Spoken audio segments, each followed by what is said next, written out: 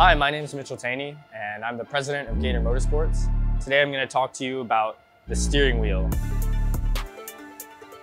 Basically, it's a little bit different from the steering wheel in your car. First of all, there's a, a big screen on here, which allows the driver to see lots of important information on the track, stuff like current gear, RPM, ABS, traction control, all sorts of stuff.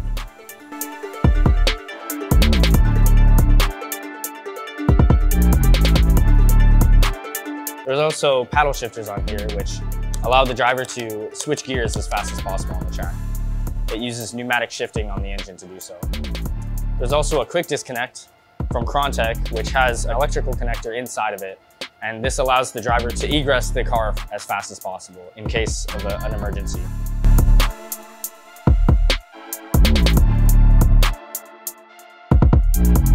There's also a bunch of buttons on here that control all sorts of stuff, uh, like auto upshift and all sorts of things with the screen. This dial here controls uh, ABS and traction control well.